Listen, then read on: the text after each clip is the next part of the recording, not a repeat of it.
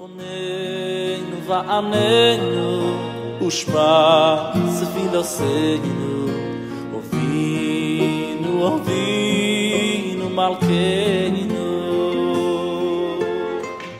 cette semaine on entame le troisième livre Vaikra qui mentionne la mitzvah ou les mitzvot des corbanotes. Et la Torah commence Vaikra el Moshe. Hachem convoque Moshe, Vaikra littéralement. Hachem appelle Moshe pour lui faire savoir comment doit-on procéder au sacrifice, puisque c'est quelque chose de nouveau maintenant. Le Mishkan a été construit, et il va lui enseigner toutes les lois des sacrifices. Katav Baal HaTurim, le Baal HaTurim a écrit Hot Aleph de Vaïkra Ktana.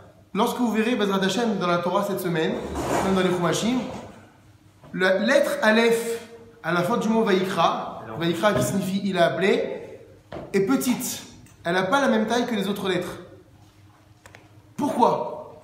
Le Balatourim dit Mishum chez Moshe Loratza et la Vaïkar. Moshe à la base ne voulait pas écrire Vaïkra, il l'a appelé, mais Vaïkar, pareil. Ça veut dire qu'il a appelé, sauf que l'Aleph n'est pas là. Quelle différence entre Vaïkra et Vaïkar Vaïkar, ça vient du mot Mikré. Mikré, c'est le hasard. Et Moshe, dans sa grande Anava, lorsqu'il va écrire la Torah sous la dictée d'Hachem, il a voulu enlever le Aleph pour dire qu'Hachem s'est pas adressé à lui de façon intentionnelle, mais ça a été de façon hasardeuse. Comme on le verra dans la paracha de Balak, lorsque Dieu va s'adresser à Bilam, le prophète des nations, Dieu le convoque et il dit Vaïkar, pas Vaïkra. Pour ne pas donner cette grande valeur à Bilam, Hachem euh, laisse entendre que ce mot là-bas fait appel à une sorte de, hasard. Bon, je dois parler avec toi parce que j'ai pas entre guillemets, j'ai pas le choix. Vaïkar. Mais Vaïkra, c'est une convocation qui est intentionnelle. Et donc, Moshe, dans sa grande modestie, ne voulait pas écrire Vaïkra. Il a dit, moi aussi, je vais écrire Vaïkar parce que ça aurait pu être moi, ça aurait pu être un autre. Va Marlo et donc Dieu lui a dit, Lirtov Gam Aleph, écris un Aleph, écris Vaïkra. Et qu'est-ce qu'il a fait Moshe? Il a écrit Vaïkra, mais il a quand même écrit Aleph en petit. Donc ça fait, ça, ça met en avant la Hanava qui était la sienne, cette modestie qui était énorme. Le Rav pose la question suivante. Mais si on avait écrit un Aleph grand, forcément, on aurait pu apprendre plus de choses que d'un Aleph qui est petit. C'est comme ça que le Rav comprend. Il se dit certainement qu'on aurait dû écrire quand même Aleph avec un- une taille normale, parce que cette taille normale aurait apporté plus d'explications d'après lui qu'un petit Aleph. Donc il pose la question suivante. D'accord, tu me dis que Moshe Rabbeinu, c'est un homme qui est humble, mais si son humilité, elle nous fait perdre tellement de secrets et d'enseignements à partir d'une lettre, il aurait dû mettre son humilité de côté et nous laisser découvrir les trésors fabuleux. Peut-être que lui, en réduisant le petit Aleph, dit Rav Shach, il nous, a il nous a caché énormément de secrets. Alors quoi, pour son humilité, on va perdre de la Torah? Donc le Rav Shach ne comprend pas pourquoi Moshe a réagi ainsi, sous prétexte, entre guillemets, de la modestie. Et là, Bière, mais voilà que le Rav Shach va donner l'explication suivante et va dire, en réalité, justement, pour Moshe Rabbeinu, la Hanava, ce trait de caractère qui est l'humilité, c'est la chose la plus puissante. C'est la chose qui donne le plus de mérite à un homme. Même des milliers d'alachot, pour lui, ne valent pas la grandeur de la modestie. Et donc pour Moshe, dit Rav Shach, il était évident qu'il fallait mettre en avant l'importance de savoir se faire petit. Plus que toutes les autres. D'ailleurs, les Chachamim vont dire qu'on ne peut faire acquisition de la Torah que dans la mesure où on est humble. Donc à quoi ça sert de mettre un Aleph classique pour apprendre combien d'alachot et combien d'enseignements si c'est pas pour déjà à la base comprendre la valeur de ce que c'est un homme modeste? Cependant, il faut comprendre, pourquoi est-ce que Dieu n'a-t-il pas été d'accord d'écrire Vaïkar Si tu me dis que toute l'idée ici maintenant, c'est de faire preuve, de, mo- de montrer la modestie, l'importance incommensurable qu'a cette Mida, alors écris Vaïkar. Puisque Vaïkar, c'est quoi, on a dit? C'est une convocation de la part de Dieu qui est, entre guillemets, hasardeuse. Est-ce qu'il y a plus grande modestie que de laisser entendre? Bah, Hachem, il m'appelle parce que c'est comme ça. J'ai pas, pas de mérite particulier, il aurait pu appeler un autre. Justement, si tu veux que Moshe montre ici la mida de la modestie, laisse-le utiliser le terme de Vaïkar. Et là, cependant, Yeshno limud il y a quelque chose qui est encore plus puissant que la Hanava. un concept qui est plus puissant que la Nava. Ve'umi sodea. Ça fait partie des fondements de la emuna. C'est quoi? On va appeler ça la Ashgacha Pratit. C'est quoi la Ashgacha Pratit? On traduit le, terme Ashgacha Pratit par providence divine. Un Mashgiach, du mot Ashgacha, une Ashgacha c'est quoi? C'est une surveillance. Pratit, particulière, détaillée, personnelle. Ça veut dire quoi qu'Hachem il est Mashgiach Ça veut pas dire qu'Hachem il, il surveille. Hachem c'est pas, un, le il disait, il Hachem c'est pas un maton, hein, c'est pas un policier, il est Mashgiach. Il est Mashgiach, ça veut pas dire il surveille, ça veut dire il veille sur. Quand on dit qu'Hachem il est Mashgiach dans le monde, c'est qu'il veille sur chaque chose. C'est ça la pratique. C'est que dans chaque chose qui arrive dans la vie, forcément Hachem est là et il fait attention pour ton bien. On appelle ça la providence divine. Dans tout ce qui se passe sur la planète, au niveau général, ou même et surtout à un niveau individuel particulier, il y a la pratit. Et on va voir que ça, cette notion de Hashgacha pratit, c'est quelque chose qui est encore plus fondamental que la Hanama. Le fait qu'Hachem il veille sur nous de façon mais millimétrée, c'est-à-dire que c'est pas de façon hasardeuse ce qui t'arrive. Or, si tu laisses entendre dans la Torah le mot Vaïkar, comme quoi Moshe, comme quoi, pardon, Hachem aurait parlé avec Moshe de façon hasardeuse, donc tu ouvres une fenêtre sur la Torah, laissant penser que le hasard existe. Or, pour un juif, le hasard n'existe pas. D'accord? Donc tu me dis oui, mais c'est pour parler de la modestie. Non, il y a quelque chose qui est plus grand que la modestie, c'est cette notion de Hashgacha pratique. Or si moi Hachem, je laisse passer le mot Vaïkar, je laisse entendre qu'effectivement je peux diriger le monde de façon hasardeuse. Il n'en est pas question, enlève-moi ce mot Vaïkar. Omnam, cependant, alors tu vas me dire la question aussi, tu me dis qu'Hachem ne veut pas qu'on ait l'idée du hasard. Alors pourquoi tu utilises le terme de Vaïkar pour Bilam Et tel Bilam, à propos de Bilam Aracha, Nirtav Lachon Mikri, c'est écrit Vaïkar. Pour laisser entendre donc cette idée de hasard. Hachem lui a parlé à lui comme il parlait à un autre prophète.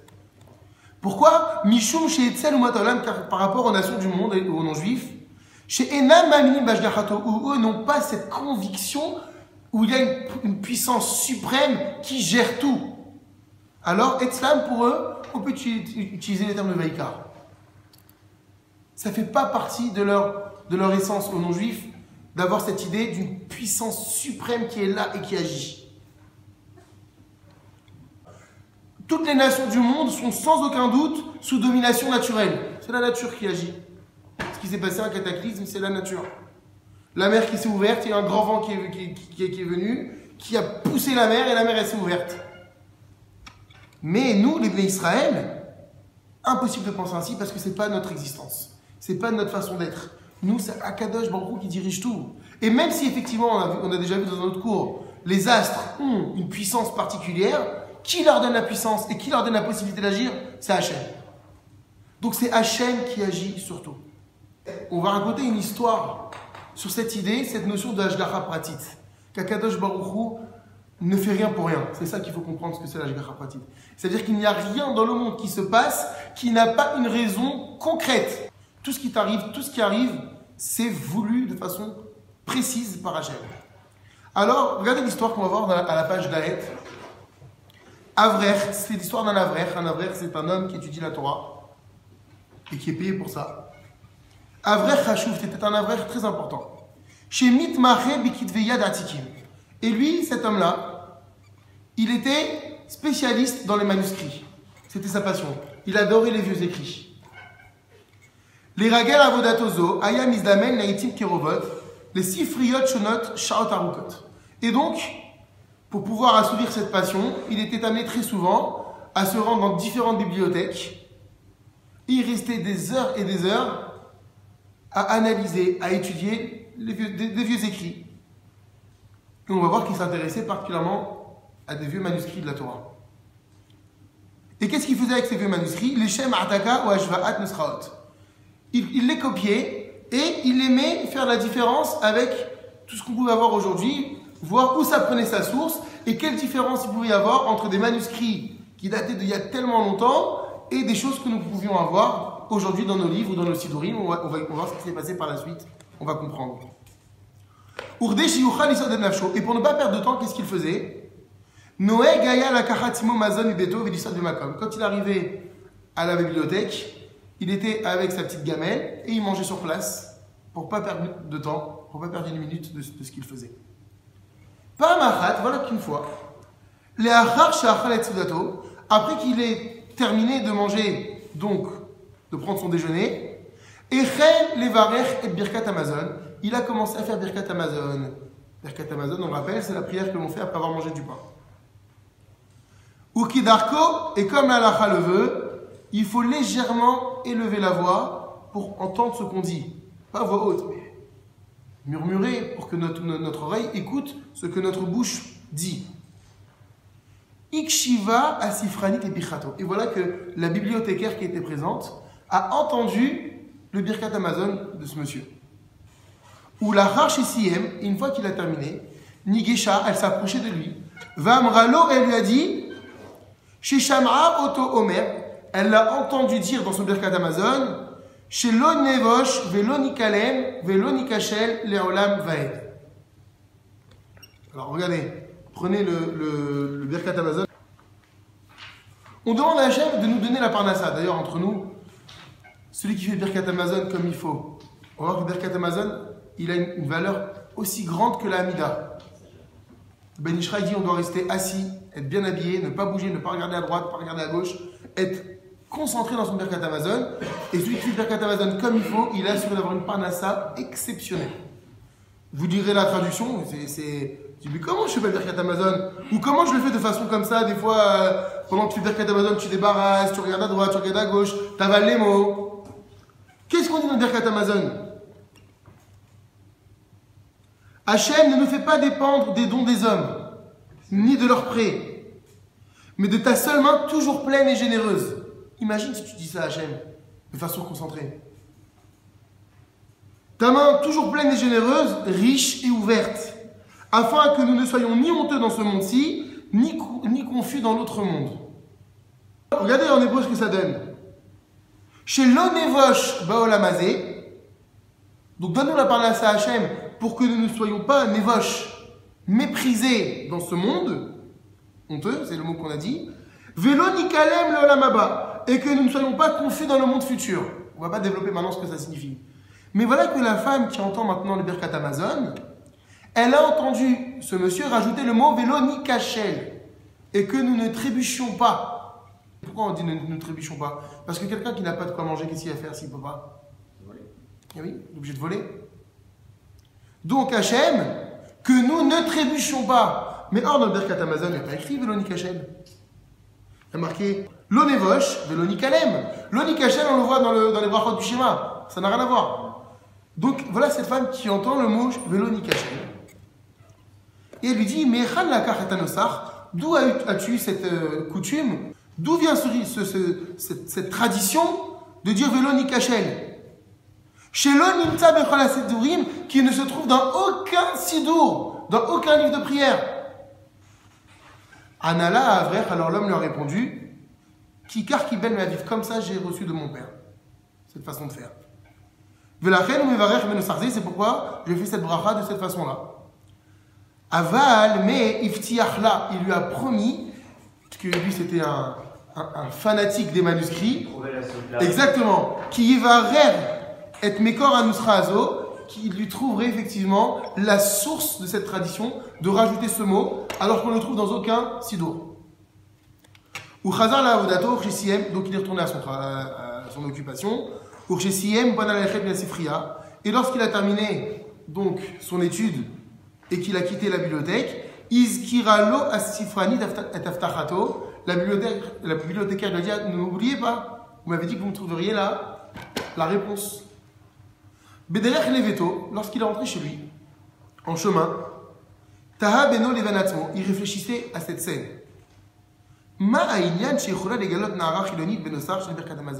Cette femme, elle n'avait pas une apparence du tout religieuse. Et il a trouvé ça très étonnant qu'elle puisse lui faire une remarque aussi pertinente sur le Birkat Amazon. Et il s'est dit, la question qui s'est posée, c'est pourquoi est-ce que il n'y a pas de hasard. Et forcément, si Hachem m'envoie cette personne qui, à première vue, sans jugement aucun, n'est pas si euh, investi que ça dans la Torah, pourquoi m'est-il arrivé cette chose? Et pourquoi c'est cette personne qui, m'a éveillé, qui a éveillé cette curiosité sur Vélo Nikachel?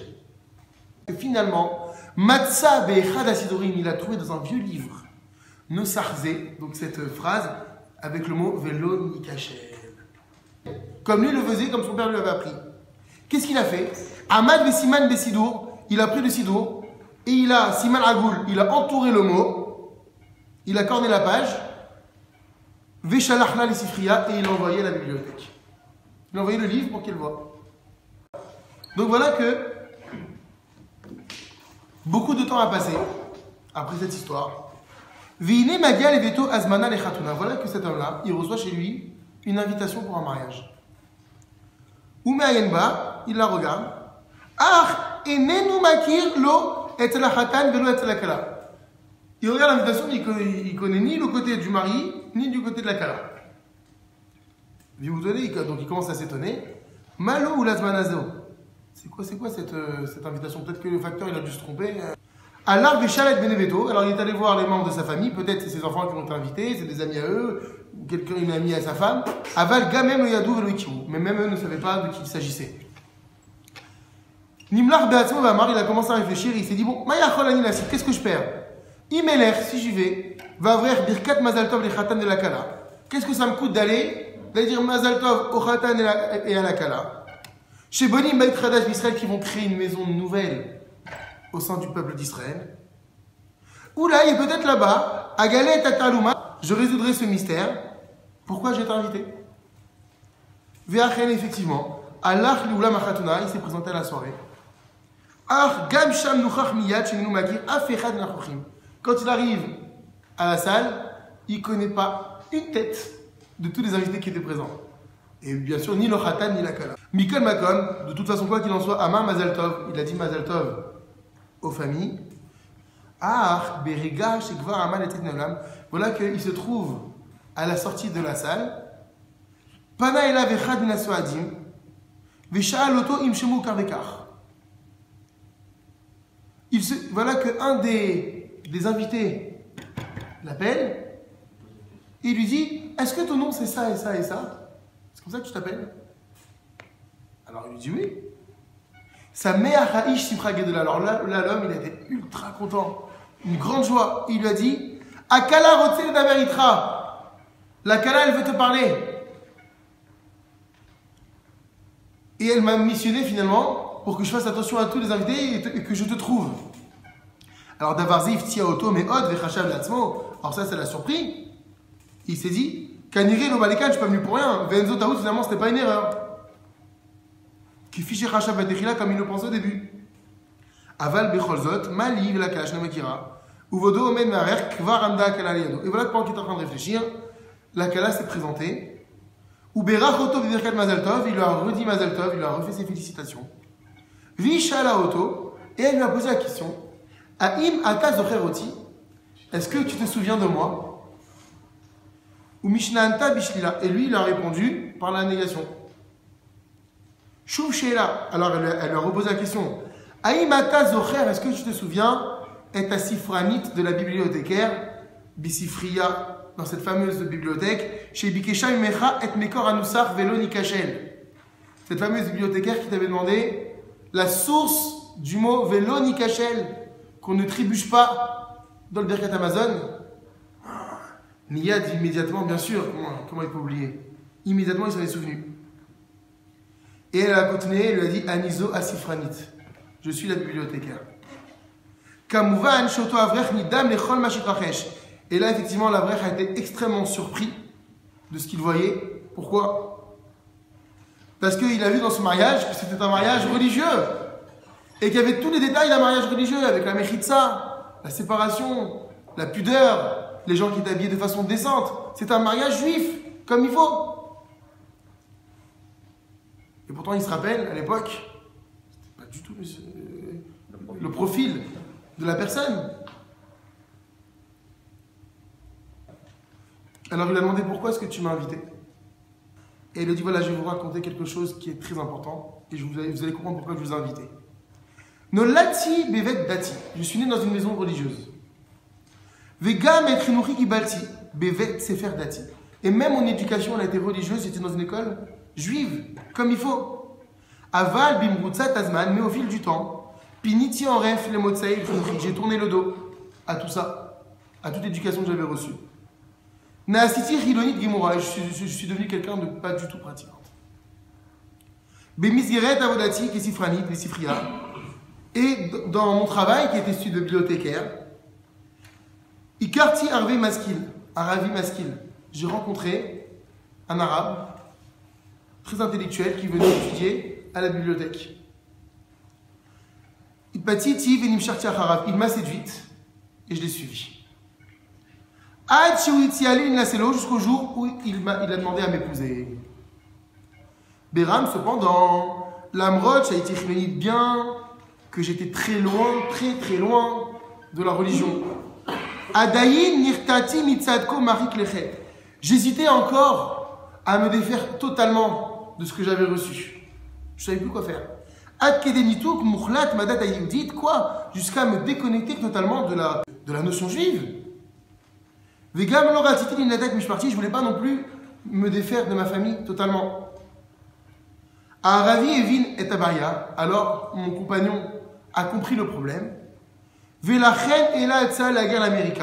Et il m'a proposé de partir vivre en Amérique. Pourquoi? Parce que là-bas, il n'y aurait plus de ces problèmes de réflexion, famille, pas famille, on s'en va, on construit quelque chose de nouveau.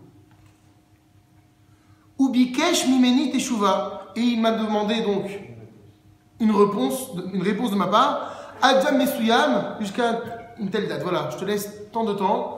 Voilà, ce jour-là, tu me donnes une réponse de ta part, oui ou non. Et moi, j'étais très attaché à lui. Vanilo yadati et nafshi, je ne savais pas quoi faire. Ketsad mitmodedim, comment faire face à ce sujet qui était pour moi très difficile. Veine azarani Hashem, voilà qu'Hachem m'a aidé.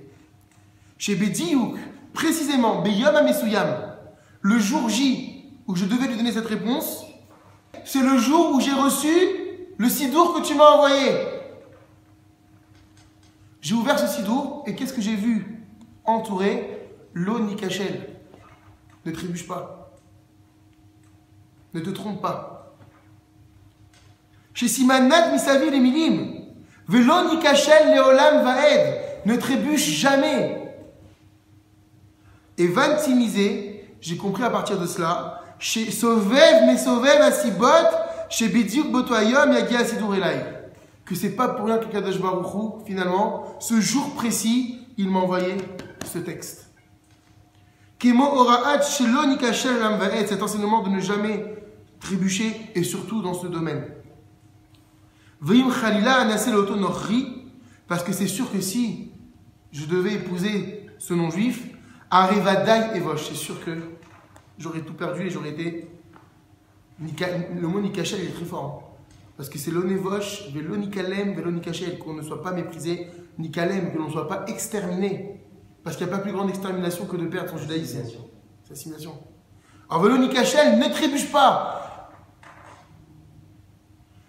Oumiyad, alors immédiatement, Itkachar Tielav, je lui ai téléphoné. Et je lui ai fait savoir chez Eneni Chefza Litratanito, que je ne désirais pas me marier avec lui.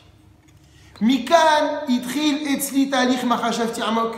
À partir de ce, de ce moment, j'ai commencé à réfléchir. Jusqu'à ce que je décide de revenir à la teshuva. Kan, kar, gam, ikarti tachatan sheni. Alors voilà que j'ai rencontré mon. Chez Gamou Baal Teshuva, qui lui aussi est un Baal Teshuva, qui est revenu vers la Torah. Grâce à ce fameux jour, j'ai pris conscience et j'ai été sauvé grâce au mot lo nikachel. Adam maintenant, Kvar Ivin Avrech, l'Avrech a compris. Malalena Chilonit, quand il s'était posé la question pourquoi il m'a fait faire cette rencontre avec une personne que je ne connais pas, qui paraît loin de tout, et qui me pose pourtant une question sur le Birkat Amazon, parce qu'Hachem a vu que ce petit mot qui n'existe dans aucun sido allait sauver toute une famille entière et toute une génération entière. Le plan divin, il remonte bien avant. Parce que son papa avait l'habitude de racheter le Hachel, donc lui il connaissait. Donc tu dis, c'est quoi, c'est une coïncidence? Non. Hachem a voulu qu'à cet instant-là, ce jour-là, ce monsieur vienne. Donc que ce soit dans sa passion pour les manuscrits, que cette euh, bibliothécaire soit embauchée dans cette bibliothèque, c'est ça la pratique. Hachem ne fait rien pour rien tant que c'est pour sauver un juif. On appelle ça la pratique. Donc c'est ce que dit Hachem à Moshe Rabbeinu. Toi tu veux écrire Vayikar et pas Vayikra. Mais toute l'idée de l'existence, c'est que je suis là pour faire attention à vous. Et je ne vous abandonne pas. L'oni Kachel, pour ne pas que vous trébuchiez. Alors oui, c'est vrai que la Nava, c'est quelque chose de fondamental. Il y a quelque chose qui est beaucoup plus puissant. C'est d'être conscient que Kadosh il est là, il m'aime. Il le fait pour moi. Même si je connais une difficulté, forcément, c'est parce que ça va appeler à une rédemption, à quelque chose de beaucoup plus puissant, que peut-être tu ne vois pas maintenant, mais qui forcément amènera un tov, quelque chose de positif, soit pour moi, soit pour, soit pour quelqu'un d'autre. On appelle ça la Ashgaha Pratit, c'est la providence divine. Et c'est ça qui fait toute l'identité d'un juif. Amen, ve Amen.